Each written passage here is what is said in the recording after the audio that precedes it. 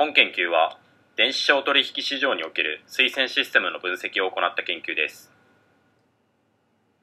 近年電子商取引を扱うウェブサイトいわゆる EC サイトが増加傾向にあり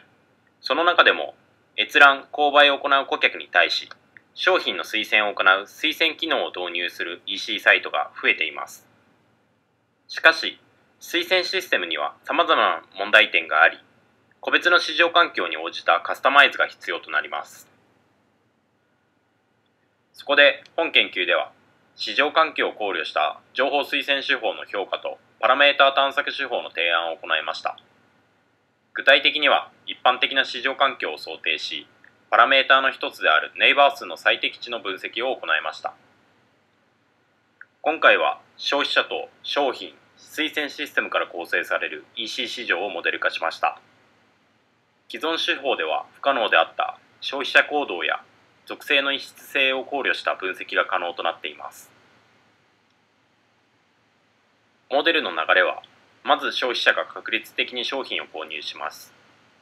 ここで購入する商品は自らの選考とマッチしているかなどをもとに決定します。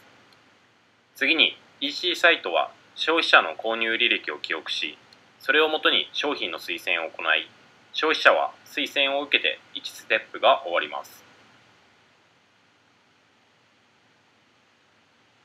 次に推薦システムですが EC サイトは各消費者の購入商品を記憶しています。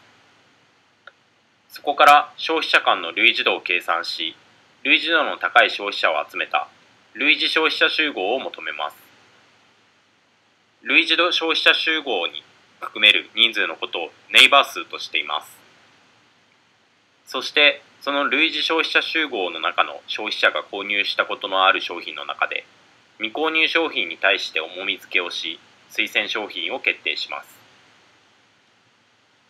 推薦に対する評価指標としては精度と順位平均を用います。